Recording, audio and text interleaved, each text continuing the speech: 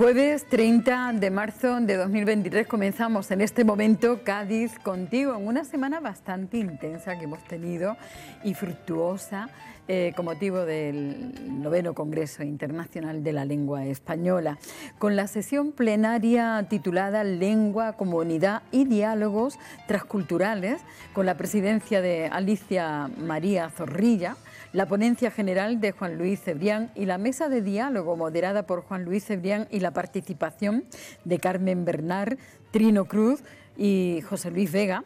Se ha comenzado hoy, este último día, la última jornada del noveno Congreso de la Lengua Española desde Cádiz y para el mundo.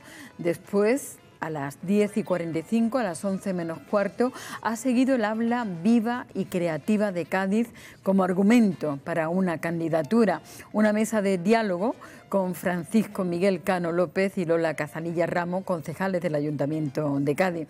Así seguirá todo este día con exposiciones, conferencias, presentaciones de libros, conciertos y un largo etcétera, ininterrumpidamente hasta llegar a las seis y media de esta tarde que será la solemne sesión de clausura de días muy intensos en los que se ha puesto de manifiesto más que nunca la importancia que tiene la lengua española en el mundo. Una clausura que, como no podía ser de otra manera, va a correr a cargo del alcalde de Cádiz, José María González Santo, Carmen Pastor Villalba, que es secretaria general del noveno Congreso Internacional de la Lengua Española, Santiago Muñoz Machado, director de la Real Academia de la Lengua Española y presidente de ASALE, la Asociación de Academias de la Lengua Española, y Luis García Montero, director del Instituto Cervantes, e Isabel Rodríguez García, portavoz del Gobierno y ministra de Política Territorial. Así se pone esta tarde a las seis y media el punto y final al noveno Congreso Internacional de la Lengua Española desde la cuna de la libertad, desde Cádiz. Y ahora nos vamos a quedar también con la reflexión, como cada día, del poeta de la vida, como es nuestro querido profesor eh, Paco Velázquez Barroso, que hoy nos habla del móvil. Hola, buenas tardes. Pues sí, tengo móvil, como casi todo el mundo. Ese aparatejo que tanto nos domina infinidad de veces. Pues bien, cuando voy por la calle suelo no utilizarlo. Poner los cinco sentidos en la vida que me rodea y que está dispuesta para mí, en lo que tengo a mi alrededor, en mi entorno. Escuchar a la gente, ver, oler, sentir, pensar. Para poder opinar es mejor escuchar o para poder aprender. El móvil, como no sea una cosa urgente, procuro dejarlo para cuando esté solo o esté en casa. La vida es bella y no podemos hacerla nuestra con la cabeza agachada. Se nos pueden pasar muchos detalles de la misma si no ponemos los cinco sentidos. Tan importante es ver un mensaje, unas imágenes, un vídeo, que luego podemos ver tranquilamente en casa. Cosas que no son imprescindibles que veamos ahora, que no urgen. Y a veces hay gente a la que parece que le va la vida en ello y se pierden vida que después echan de menos. Parecen que van en posición orante ante su Dios, el teléfono móvil. Vamos a librarnos por un momento de él y hablemos, escuchamos, escuchemos, vivamos. Vivamos y disfrutemos intensamente. Le vamos a recordar que tenemos una cita el próximo sábado, pasado mañana. Vamos a tener la oportunidad de disfrutar de un concierto que lleva por, por título Cuentos compartidos. Es en el emblemático Pai Pai a las 9 de la noche, un concierto en el que dos grandes de nuestra música, como son Inma Marque y Paco Luque, o Paco Luque e Inma Marque, nos van a contar y a cantar cuentos e historias maravillosas que van a compartir con todos nosotros. Paco Luque, buenas tardes. Hola, buenas tardes, Manuel. ¿Qué tal? Todo preparadísimo para este próximo sábado, dar el corazón y el alma con tu guitarra y vuestras canciones, ¿verdad? Sí, mira, tengo que decirte que está aquí conmigo, a mi lado también Inma, porque estábamos justamente ensayando para, el concierto. Eso que la, estamos, la hemos estado llamando, pero no ha cogido el teléfono. Sí, estamos pues, juntos. estamos juntos. Manoli, buenas tardes. Juntos pero no revueltos, ¿no, Ima? No. pues contadnos, contadnos qué nos vaya a ofrecer este sábado a las 9 en el Pai Pai.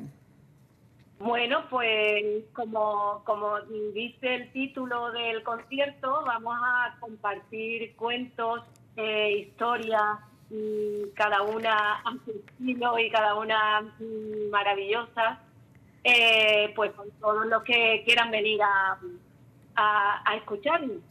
Eh, yo creo que va a estar muy entrañable y bueno, invitamos a todos los, los amigos que quieran pasar por allí y compartir con nosotros esos cuentos. Eh, Paco, ¿de qué hablan esas historias? ¿Son historias compuestas por ti mismo? Bueno, algunas alguna compuestas por mí hay, pero la mayoría son, vamos a hacer versiones de distintos cantautores. Es un repertorio muy variado, hay músicas de, muchos países y de todo en español, pero muy variado. Menos una. Bueno, menos una que es en griego, nada menos. Mediterránea también, pero en griego nada más. En griego, nada más. Qué bonito, qué bonito. Y lo que tienen en común todas las canciones es que en todas se cuenta alguna historia. Eh, eh, y... Sí, sí, dime, dime, dime, tú. No, que en todas se cuentan historias y también vamos a leer algunos pequeños textos, también habrá alguna colaboración y en fin, queremos que sea una cosa muy variada y sobre todo que participe la, Exacto. Que, que el público interactúe con nosotros y que, y que participe, por supuesto, de, de estas historias maravillosas. Y que fluya, que fluya la magia de la palabra, de la música, en ese ambiente exquisito como es el Pai Pai con nuestras amigas Paloma y Mariló. Bueno, pues invita a todas las personas que os están escuchando para que no falte este sábado a las 9 a esta cita de mucho más que música y palabra, de emoción, de alma, de corazón. Bueno, pues esperamos vuestra asistencia ya en Pai Pai a las 9 de la noche el sábado 1 de abril es una buena manera de preparar para luego pegarse la fecha de procesiones. Exacto. claro que sí.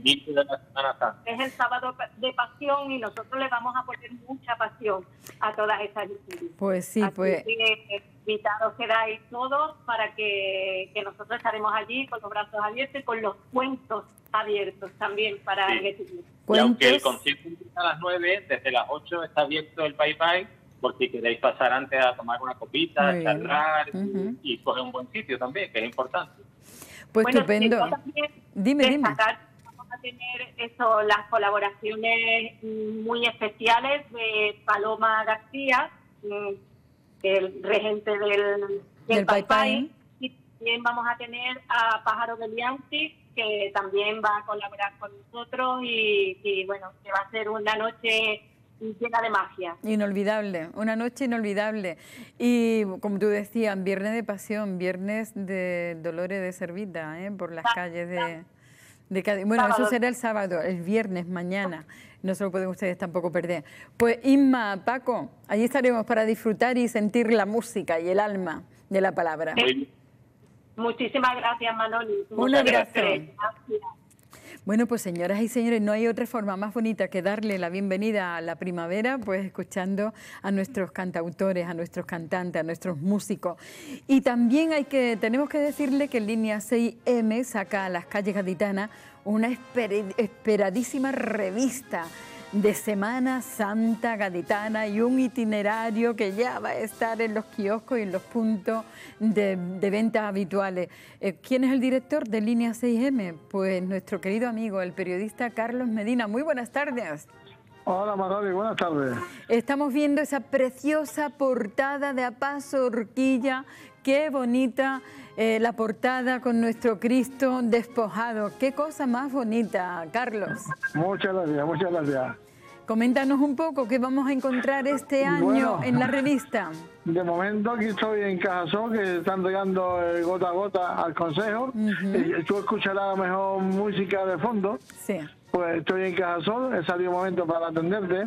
Y aquí también se está repartiendo ya por todo Cádiz el itinerario de, de línea 6 con, efectivamente, con la portada la misma que en Pasorquilla, que la, la revista Pasorquilla llega mañana a los kioscos ya, porque hemos estado muy muy ajetreados, Manoli, con el Congreso de la Lengua, el, itinerario de, de, Pasorquilla, la revista Pasorquilla y el itinerario de, San Fernando. No para ahí, ¿eh? pero, pero muy contento, muy contento. Cansado, pero contento. Bueno, bueno, merece la pena cuando las cosas salen tan bien como salen, pero por, por esa, esa, ese trabajo, ¿no? Y esa responsabilidad tan grande que tenéis y esa profesionalidad tan grande que tenéis. Bueno, ¿cuántos itinerarios este año y cuántas revistas, Carlos? Bueno, hemos hecho 20.000 itinerarios y, y revistas 10.000. 20 eh, bueno, este año hemos, hemos 10.000 o 11.000, creo que me he subido 1.000 porque hay tanta expectación con el tema del huerto y con muchos temas, con el, con el nazareno de, de, mm, obediencia y, y despojado, hemos hecho reportajes y, hemos tenido mucho hay mucha expectativa por la revista y hemos subido un poquito la, la tirada así que mañana por la a partir de mañana por la mañana ya está la revista en kiosco y, papelería y como tú sabes por 5 euros o sea que es baratísima lo que me dicen a mí los cofrades de Sevilla esto en Sevilla valdría 20 o 25 euros es verdad. Eh, prestigiosa y una calidad indiscutible. Bueno, con dos especiales dedicados a la oración en el huerto y al despojado, entre otros muchos, ¿verdad?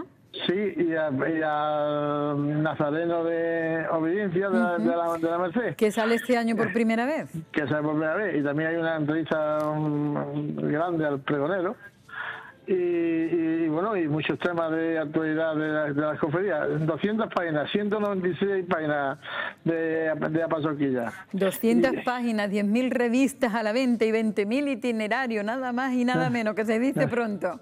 Bueno. y, mi agradecimiento, evidentemente, a las instituciones, al Consejo y a las empresas que hacen posible, al menos la, que sea gratis el itinerario, que, ya, que son 68 páginas. O que eh, yo creo que más es fuerte imposible. Bueno, pues maravillosa la Semana Santa 2023 que ya está aquí, señoras y señores. ¿Cuántos años, eh, Carlos, ah, haciendo la revista y el itinerario? Pues, pues, yo creo que son 30, ¿no? 29 o 30 años ya. 30 años ya, que se dice pronto. Y además, sin, sin, sin fallar en un año. ¿eh? Incluso en la pandemia, sin procesiones, hemos sacado eh, a Pasorquilla y agotándose en 48 o 72 horas. Nos acordamos con las mascarillas puestas los hermanos mayores. exactamente, en, sanidad, en la salud, en la vida de la salud. Para el recuerdo, claro que sí. Hecho histórico. Pues Carlos, te dejamos que estás ahí en, directo en ese acto tan importante del gota a gota que este año se le entrega, se le concede al Consejo Local de Hermandades. Un abrazo muy fuerte. Feliz Semana Santa. Ah, vale, oye, debo llenar hoy a la y todo, ¿vale? Venga, estupendo. Muchísimas gracias en nombre de todos. Gracias, ¿eh? Hasta siempre. Bueno, pues señores y señores, muchas cosas por delante, pero también no nos queremos olvidar y unirnos al dolor de la familia y amigos de una gaditana, de Manoli Molina, una gaditana histórica, dirigente vecinal de la barriada de La Paz y también fue concejal socialista de nuestro ayuntamiento hace algunos años. Una mujer, como digo, muy querida en Cádiz, que se volcó y luchó intensamente por nuestra tierra y por nuestra gente para hacer mejor la vida, pero de todos. Hace ocho años se le otorgó el premio Mujeres Constitucionales y en el pasado año 2022 recibió el primer premio de la Federación 5 de Abril por su trayectoria. El Ayuntamiento de Cádiz ha decretado un día de luto oficial y ha trasladado sus condolencias a la familia, a los amigos y ha destacado su vocación de servicio público y su dedicación a los vecinos y vecinas de nuestro Cádiz, trabajando por ellos tanto desde el ayuntamiento como desde las propias entidades vecinales gaditanas. Así que vaya nuestro abrazo más fuerte eh, a nuestra queridísima paisana Manoli Molina. Descanse en paz.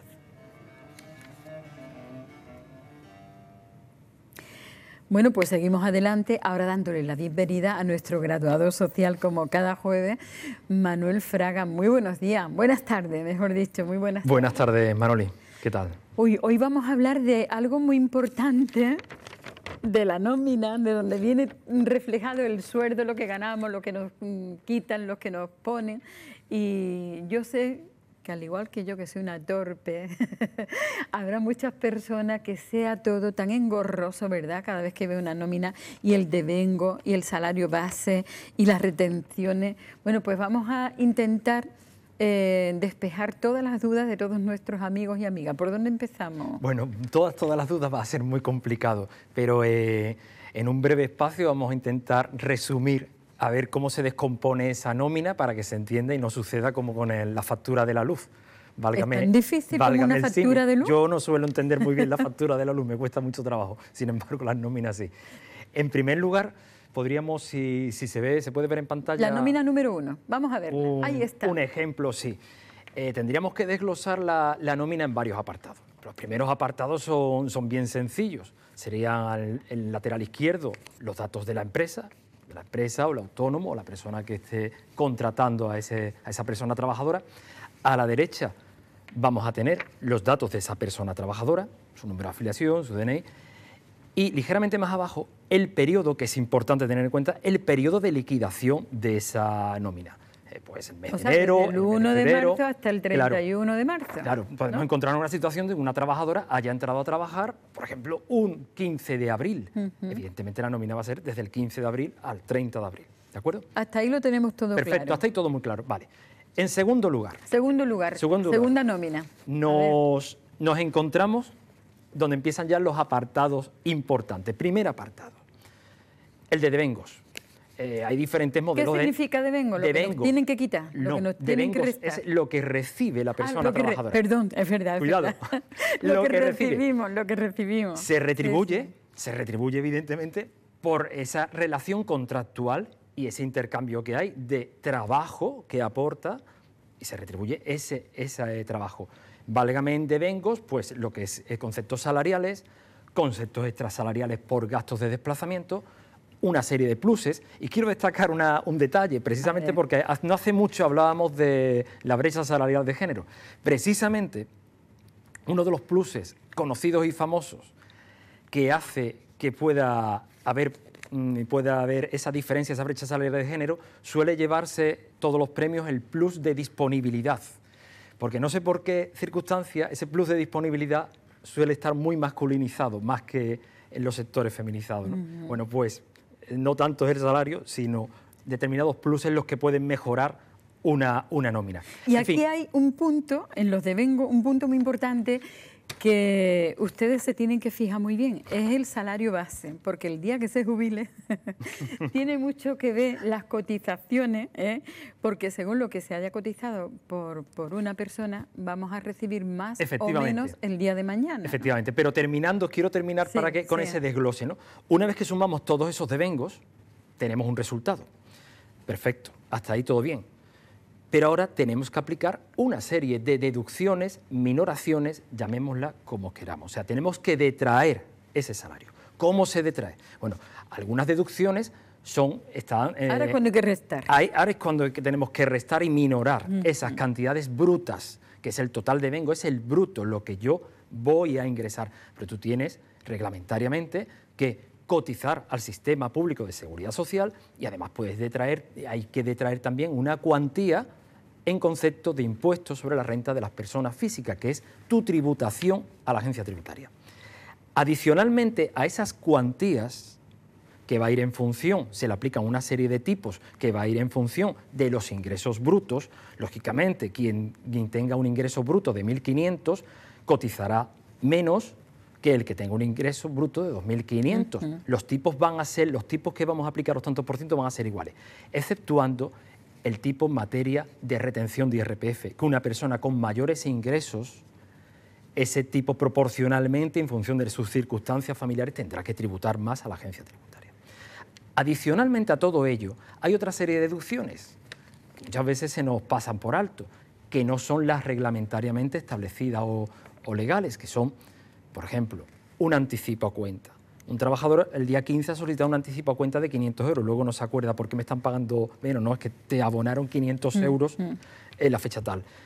Un embargo, una circunstancia que se da hoy muy a menudo. puede ser un embargo, puede ser un embargo bien por un tema de divorcio, puede ser un embargo de la Diputación Provincial de Cádiz, ya que estamos en Cádiz, puede ser un embargo de la agencia tributaria, de seguridad social, porque este señor ha sido anteriormente esta señora autónoma autónoma y ha dejado de ver pendientes cuotas a la seguridad social. Esos embargos tenemos que aplicarlo y tenemos que minorar, ir minorando la nómina. Por último, en tercer lugar, en tercer lugar, que es donde ya se genera mayor eh, galimatías en todo esto. A ver. Tenemos lo que es el desglose de gastos que va a tener la empresa. Eso tiene un carácter meramente informativo, dado, eh, dado la situación, que la nómina tiene que ser transparente y tiene que aportar al trabajador todos los datos de su coste social y salarial. Entonces, esa última fase de abajo te está informando simplemente de todos los gastos que está aplicando todos los todas las cotizaciones y todos los gastos que tiene parejo la empresa con ese salario bruto. No significa que sean deducciones que se le apliquen. Las deducciones que hemos visto anteriormente son las que se aplican sobre el salario bruto y nos va a dar un neto o líquido, que es lo que vas a recibir vía transferencia bancaria. Esto, eh, las deducciones que hemos dicho antes son las que tenemos que, que, abonar efectivamente, todos los trabajadores. Efectivamente, lo otro es lo que nos busquemos nosotros en la claro, vida. Y además te voy a decir una, eh, yo una cuestión que tengo muy clara. Esas deducciones legales de seguridad social y RPF, eso es mm. justicia social, precisamente. Porque gracias a ese... Porque repercute en toda claro, gracias a ese sistema contributivo, nuestra aportación no solamente para nosotros, sino son para otras personas que necesitan esa asistencia. Queremos que un sistema público funcione al 100%, ¿no? Pues esa es nuestra contribución, eso es hacer justicia social. lo, contrario es no hacerlo. Claro, lo otro de lo que has hablado últimamente son cosas individuales de cada ciudadano, ¿no? Ese embargo o ese anticipo que hemos pedido son cosas aparte. Por supuesto, son descuentos, minoraciones que... Pero que también vienen muy bien especificados en la nómina. Claro, y he traído en cuarto lugar, eh, en cuarto lugar, para que se entienda un poco mejor, y como se pregunta mucho sobre qué es una nómina, una nómina salario mínimo interprofesional. Bueno, pues bien, esto es una, eh, la nómina que estoy presentando en pantalla, es la nómina actual basada en el salario mínimo actual, eh, salario mínimo interprofesional. Una nómina eh, de un trabajador a 40 horas, un trabajador a 40 horas semanales, no puede estar por debajo nunca de ese salario. Jamás. Entonces ahí se ve aplicado a esa nómina que neto qué neto, qué resultado daría con una aplicación teniendo en cuenta que es una nómina de una persona, un trabajador, una trabajadora eh, soltero o soltera y sin hijos, sin descendiente. Simplemente llevaría una pequeña deducción de, IRPF del 0,26%, algo así, o sea, una cosa realmente ridícula, ¿no? Y esa sería la nómina de esa persona, salvo que por negociación colectiva, evidentemente, supere supere lo que es el salario mínimo interprofesional, pero si en negociación colectiva no está establecido así, esa sería la nómina mínima que debe de cobrar un trabajador o trabajadora eh, en el Estado de Derecho español.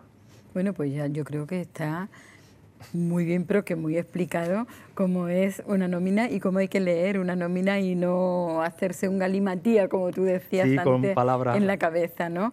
Eh, pero mira, yo tengo aquí algunas preguntas que me han hecho algunos espectadores sabiendo lo que tú ibas a, tratar hoy en el programa.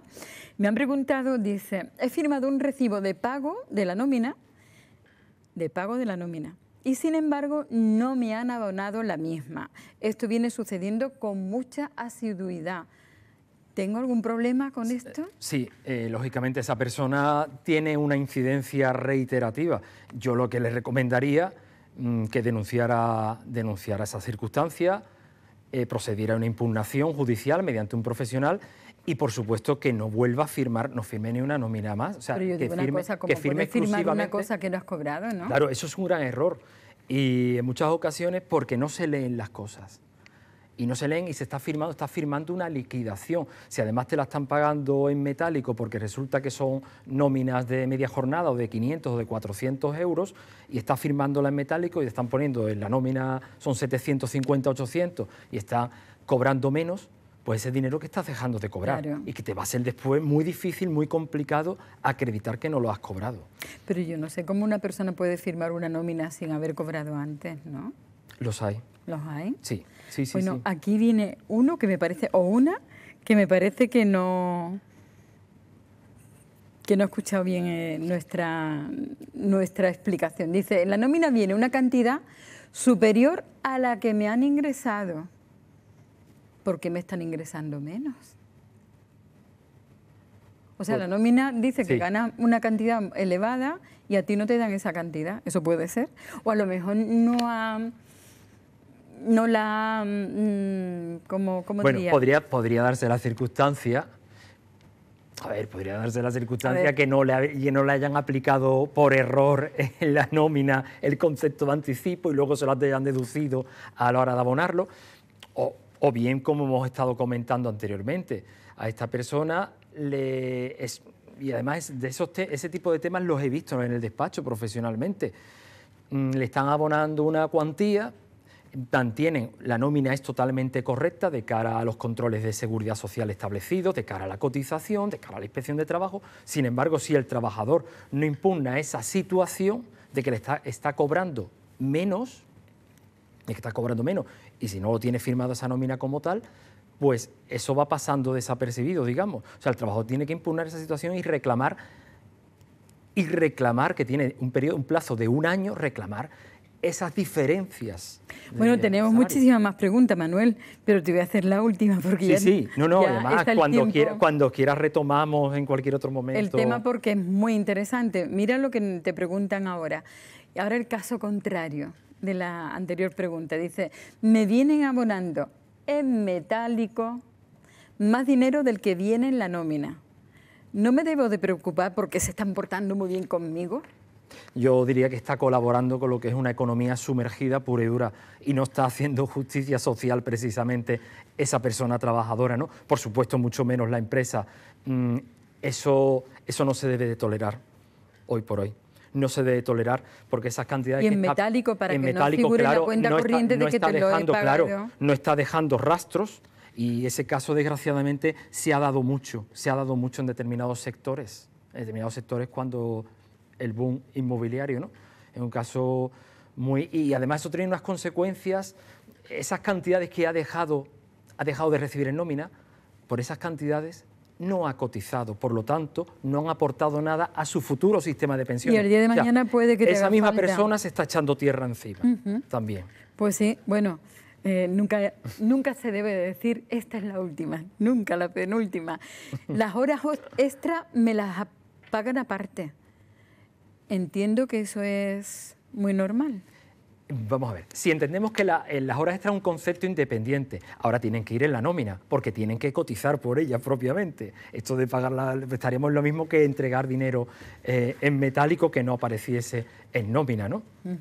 Sería economía sumergida. Bueno, cuántas cosas, cuántas cosas tenemos que preguntarte, Manuel. Se quedan en el tintero para perfecto, el próximo programa. Perfecto, cuando quiera ampliamos mucho más esto. Yo quería recordar que mañana es, eh, mañana es el último día de plazo, por si algún algún oyente está interesado en presentar la solicitud de los famosos 200 euros de ayuda que se solicitan por la página de Hacienda, que solicitan o bien con certificado digital, con clave. ¿Quiénes tienen derecho a ella? Pues mira, tienen derecho todas aquellas personas o unidades familiares que no tengan unos rendimientos brutos superiores a 27.000 euros en su conjunto o 75.000 euros brutos en la parte patrimonial, exceptuando la primera vivienda. Casados y solteros.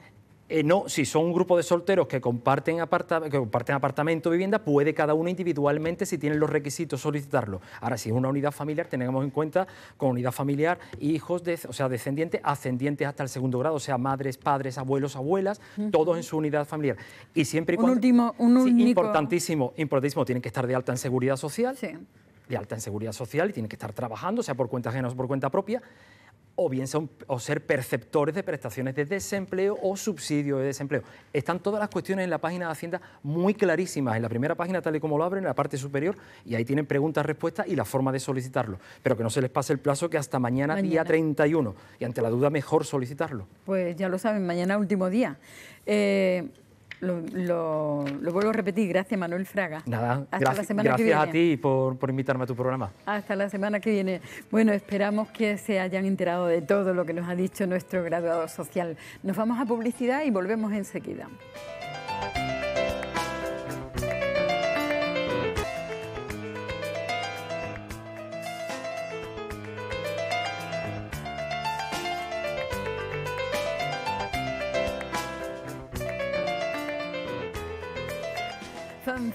Y tambores, señoras y señores, porque comenzamos nuestro espacio de cine Andalucine con nuestro querido Bruto Pomeroy, que viene muy bien acompañado. Un gaditano de Jerez, afincado en Zara, si no estoy mal equivocada, que ha ganado la Biznaga de Plata de Málaga, del Festival de Málaga, y ha sido, eh, ha tenido cinco candidaturas a los Goya por un pedazo de corto documental titulado Oro Rojo. Él es nuestro Jesús Sotomayor. Muy buenas tardes a los dos, bienvenidos. Muy buenas, tardes. Aquí le tenemos, ahora le vamos a conocer a Jesús Sotomayor, que no solo es un excelente director de cine, es productor también, que ahí es donde entraña mucho riesgo, digamos, el riesgo económico, el riesgo de trabajo, con, con una trayectoria profesional envidiable, con un montón de premios Alguien, y lo quiero destacar desde el principio, que apuesta por su tierra. Él es gaditano, eso, eh, como yo somos jerezanos, sabes que esto puntúa muy poco aquí en Cádiz, pero que en todo caso, a partir de ese momento, él apuesta por gente de la provincia en su equipo técnico y artístico y nos irá contando, digamos, pero es algo a tener muy en cuenta. Él siempre está en diálogo permanente conmigo para decir, oye, Bruto, en la escuela de cine tienes alguien que, alguien que podríamos trabajar, a ver si el sonido, a ver si no sé qué. y crear entorno es, crear masa crítica en ese sentido. Pues crear, crear, ahí es donde surge realmente el apoyo al nuevo cine gaditano, que se está haciendo, él es el exponente. Orgullosos de, él, además, una trayectoria maravillosa, porque en televisión española, en informe semanal, etcétera, etcétera. Yo, pero yo lo que quiero que, que la gente vea es ese pedazo de cortos y podemos ir viendo las imágenes mientras que hablamos. Oro Rojo, ¿cómo surgió y cómo se te ocurrió? Sí, porque el tiempo corría en Pero no es un corto, es un largo. Es un largo, un, documental, un largometraje. Coméntanos un poquito. Pues surgió a raíz de la primera película que hice, que fue El sentimiento de los vientos, que trata sobre la vida de, de los almadraveros, la relación que existe entre los almadraveros, los atunes y las orcas del estrecho. Y a raíz de ahí, pues bueno, pues pensé que había que hacer una segunda entrega, una segunda entrega porque el atún da para mucho. Y sobre todo viajar a Japón y descubrir mm, nuestro producto allí en Japón, tal como se, comercializa y como se, se, distribuye allí. ¿no? Entonces me llevé a un almadravero a Japón, estuvimos un mes allí de rodaje y a través de él, él es el, hilo conductor de la película, es el personaje, el principal personaje. Además que es almadravero de verdad, es un hombre real del mar, de Barbate. Correcto, así es. Pero no adelantemos acontecimientos, vamos a quedarnos primero, que para eso lo hemos traído para detener aquí un ratito, con el sentimiento Hoy estamos apasionados con el invitado, ¿eh? Hombre, claro que sí. no sabemos cuál de los dos. Claro que sí, como chiquito de la frontera, chiquito de la pradera. De la calzada. De la calzada. el sentimiento de los vientos porque ahí tienes un plantel de colaboradores en, imagen que nos deberías contar de ellos. Teníamos a Eva H., por ejemplo, teníamos a Alex de la Iglesia, teníamos a Imanol Arias, acompañándote y jugando contigo en esa narración. ¿no? ¿Qué es El sentimiento de los vientos? Vamos allá. El sentimiento de los vientos es una película poética, poética de nuestras costas de Cádiz y sobre todo una tradición marinera que es la almadraba, que tiene más de 4.000 años de antigüedad. Entonces, a través de la belleza que rodea esa zona de Zahara, Barbate y demás, a través de esa fotografía y a través de la historia, una historia de la época del Paleolítico, donde en las paredes de una cueva ya se pinta un mural de una pintura que puede tener aproximadamente entre 20 y 25 mil años de antigüedad, se pinta una especie de mural que es como un manual de cómo cazar el atún. Cómo cazar, no cómo pescarlo, sino cómo cazar, porque en aquella época no existían todavía las almadrabas. Las almadrabas fueron mucho más posteriores. Pues en esa misma pared también hay pinturas navales que representan a los fenicios cuando trajeron las almadrabas. Y todo eso está ahí pintado porque era la forma de transmitir de una generación a otra esa información. Ahora ¿Y tú sabes cómo se cazaban los atunes? Claro, los atunes se, se, se, cazaban, se cazaban precisamente gracias a las orcas, porque las orcas son los animales que atraen o acorralan a los atunes en la costa para poderlo cazar ellos mm, eh, trabajan como si fueran perros pastores, van acorralando a, los atunes porque los atunes son es el pez más rápido en el mar y no lo pueden cazar en aguas libres. Entonces lo van acorralando y los atunes se acercan a la orilla huyendo de la horca y muchos de ellos quedan varados en la orilla. Entonces al quedar varado iba el, hombre, el ser humano, con su lanza, ¡plá! Y ya. Ah, pero desde tierra. Desde tierra correcto. No tenía ni idea, a lo mejor lo sabe todo el mundo, a lo mejor tú, Manoli, lo sabías, pero no tenía ni idea de esa caza prehistórica de... Correcto, eh, bueno, en la cueva de Oran, en Gibraltar, también se han encontrado eh, restos de atún y de eh, vértebras de atún y demás, y no cabe otra posibilidad de que el ser humano lo cazaba y lo metía en la cueva y se lo comía. Entonces, eh, eh, eso, eso es, tiene un peso argumental muy, muy fuerte. De hecho, aún sigue ocurriendo en las costas de Cádiz, en la zona de, sobre todo, Zahara y Barbate, los atunes salen todavía del, del, mar y se quedan varados.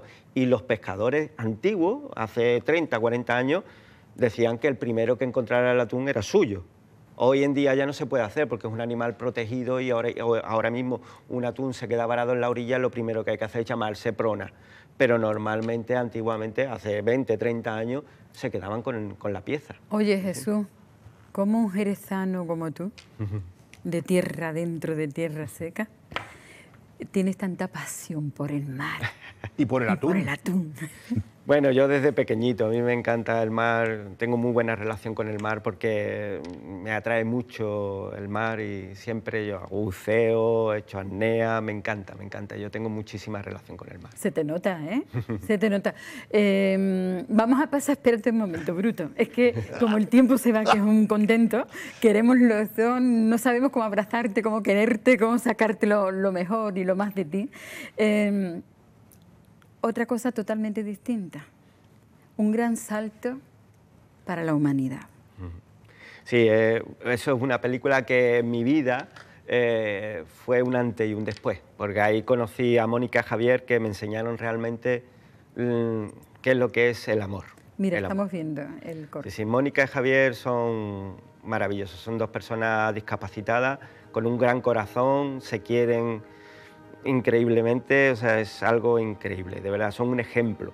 Y esta película la dirigí, la dirigí junto con Pablo Carbonell y, estuvimos en Madrid rodando y bueno, y es una película que, emociona. Mucho, vamos, vamos a, a, ver un poquito, un poquito solo. No,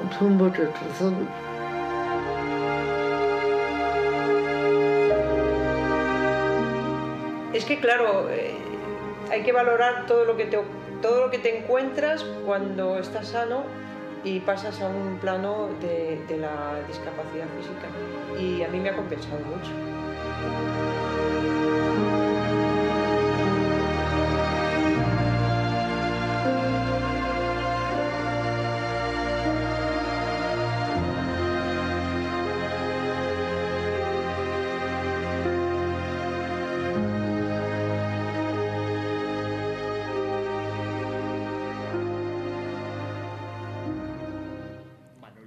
Pregúntale por esa relación tan estrecha que tiene con Pablo Carbonell, porque son dos buenas piezas. ¿Ah, ¿eh? sí? ¿A ti te gusta mucho Pablo Carbonell? Bueno, es muy amigo mío. Yo con Pablo tengo muy buena relación y le he dirigido dos videoclips, los últimos Y con los dos. que no me, no me pise que llevo changle Exactamente, con Pepe, Pepe Vejine.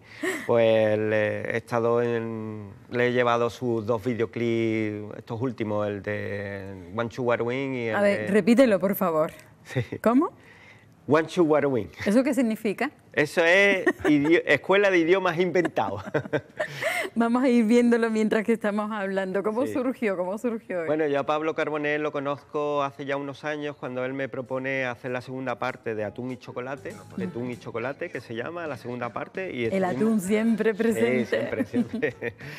y estuve intentando producir la película, pero bueno, mm, no, no, tuvimos la suficiente capacidad de buscar la financiación.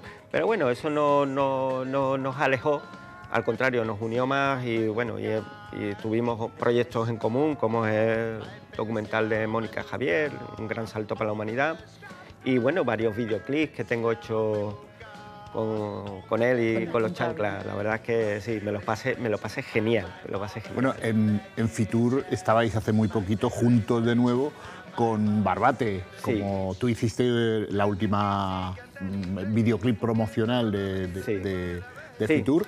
Porque tengo muy buena relación con el Ayuntamiento de Barbate y bueno, como he estado allí afincado durante mucho tiempo y he realizado los dos documentales, Oro Rojo y El Sentimiento de los Vientos, pues tengo muy buena relación con el Ayuntamiento, con el alcalde y demás.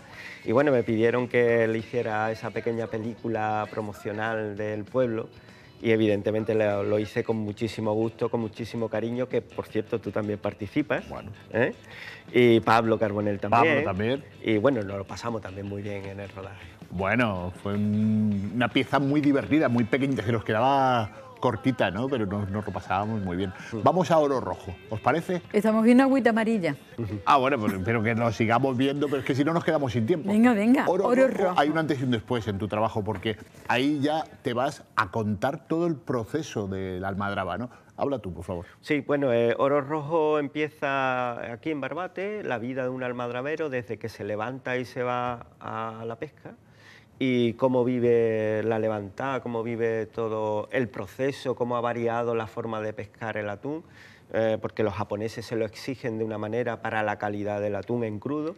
Y bueno, y a, raíz de ahí empieza la película y luego él decide viajar a Japón a conocer cómo se, cómo se manipula allí su producto, cómo se come, eh, eh, qué, qué condiciones tiene que tener el atún cuando viaja desde aquí hasta Japón y descubrí un poco lo que siempre se habla, que nunca hemos visto en la tele, que es todo el mundo dice, uh, los japoneses llevan todo el mercado de atunes de aquí de Barbate. Sí, es cierto, es verdad, casi todo.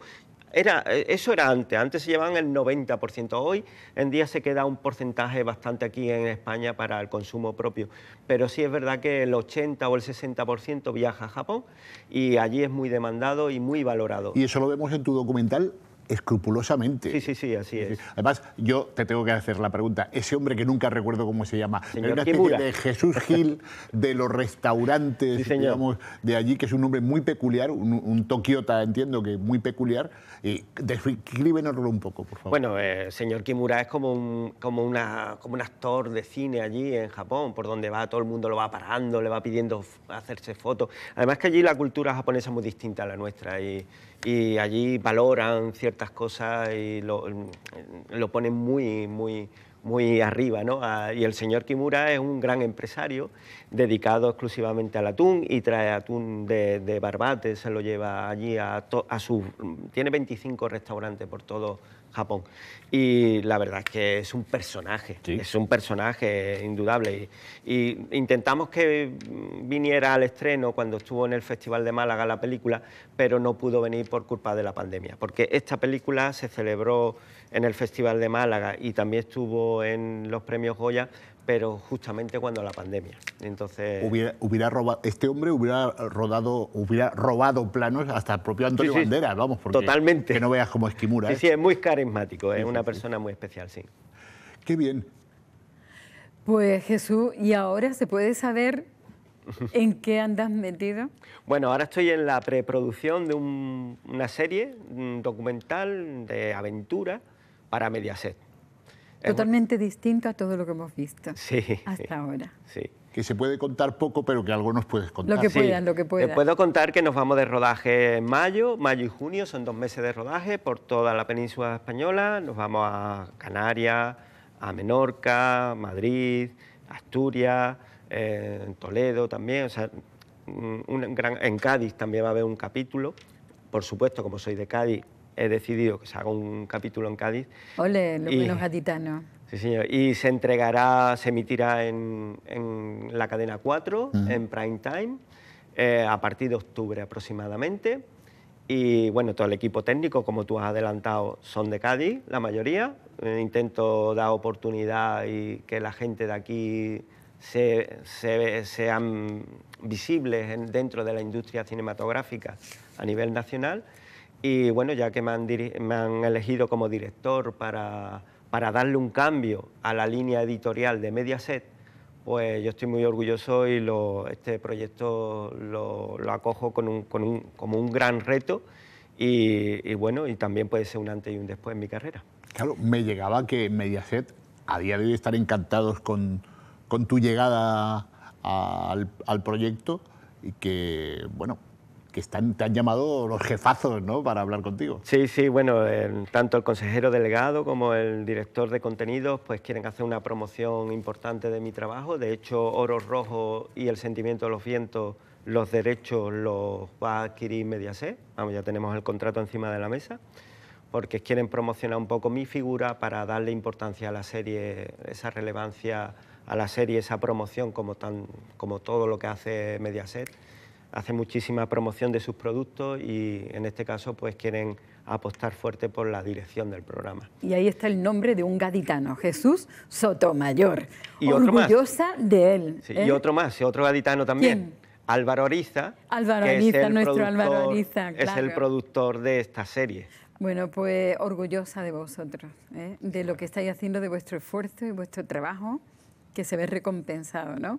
Porque se lo rifan, señoras y señores. Esas son la gente de Cádiz. Enhorabuena. Muchísimas Y a seguir triunfando, llevando el nombre de Cádiz muy alto. Muchísimas, además muy orgulloso. Y muy orgulloso. gracias. gracias, en nombre de todos. Y gracias a ti también, Bruto, por todo lo que haces por Cádiz, por nuestra gente y por el arte. Bueno, gracias a ti. Se nos fue el tiempo. no se puede decir más nada. Calladito. Buen fin de semana.